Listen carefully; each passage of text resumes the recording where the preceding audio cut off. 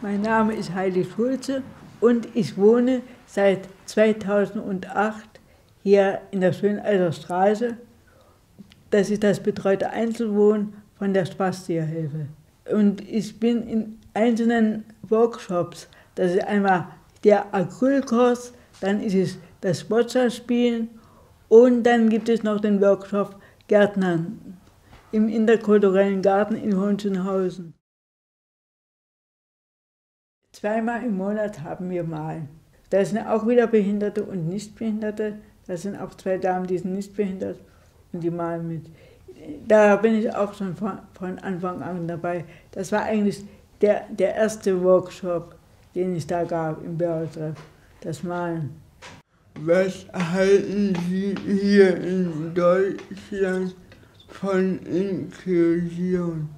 Inklusion ist, ist ja ein weiter Begriff. Das bedeutet ja, dass wir uns eingliedern in die Gesellschaft, dass sie uns auch aufnehmen. Das ist eine Doppelseitigkeit. Einmal wir Behinderte müssen uns bemühen und die Nichtbehinderten müssen sich genauso uns sehr anzunehmen. Äh, wenn Sie Berlin und Deutschland generell betrachten, was würden Sie äh, für die Behinderten verbessern oder verändern? Wenn ich zum Beispiel in eine Gaststätte gehe und dann sehe, dass, ich, dass sie zwar eine tolle Schräge gebaut haben, aber wie ich dann über diesen Hut kommen soll, das frage ich mich dann auch. Ich sage immer Folgendes, wenn ein Architekt etwas für Behinderte entwirft, dann würde ich den erstmal acht Tage in einen Rollstuhl setzen und sagen, so mein Lieber, und jetzt fährst du mal acht Tage mit dem Rollstuhl durch die Gegend und dann wirst du ja mal sehen, was wir alles nicht können. Ich meine, ein Behinderter muss sich natürlich auch bereit sein, sich da auch mit einzubringen. Ich finde es nämlich gar nicht gut, wenn, wenn dann vielleicht zwei, drei die große Klappe haben und die anderen gucken dann alle bloß und denken, naja, das geht ja mich nicht viel weit an. Aber nee, das geht ja jeden was an.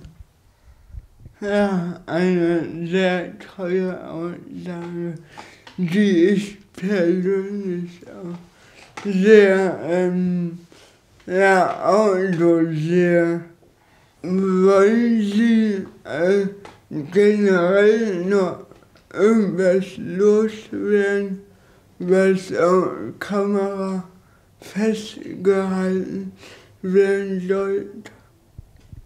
Dass man, dass man uns eben noch mehr akzeptiert, eben auch unsere Behinderung, dass man eben besser mit uns umgeht. Ich, ich persönlich kann mich ja nicht beklagen.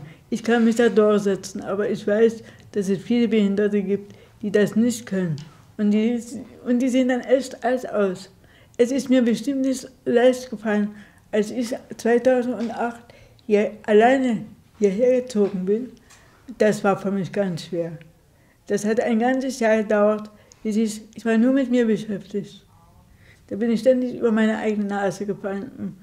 Aber ich habe es gelernt. Ich wollte es. Ich bin ja ehrgeizig.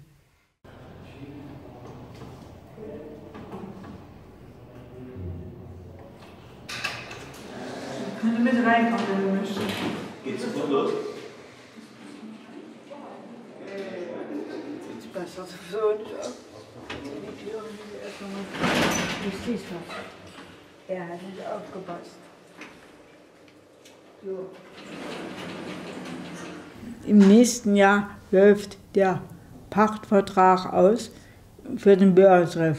Und wir möchten aber gern, dass der Börtreff weiter besteht. Und deshalb machen wir diese, um dem Bürgermeister zu zeigen, wie wichtig das ist. Dieser Bürgertreff ist ja dazu da, dass es Behinderte und Nichtbehinderte treffen sollen. Und da wollen wir ihm zeigen, was wir alles anzubieten haben. Da werden wir mit ihm eine Runde Boccia spielen. Dann wollen wir auch malen und wir malen da Bilder. Wir hatten auch schon, ich glaube, sechs Ausstellungen hatten wir schon. Wir waren schon mal im Rathaus in Lichtenberg hatten wir eine Ausstellung und dann hier im, in dem Bürgertreff, dann waren wir mal in einer Gaststätte, hatten wir eine Ausstellung. Also, ja, wir haben schon eine Menge geleistet im Bürgertreff.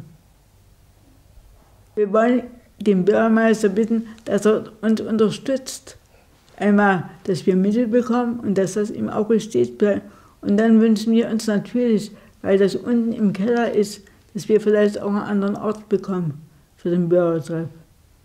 Denn unten im Keller, das ist nicht jedermanns Geschmack. Inclusion.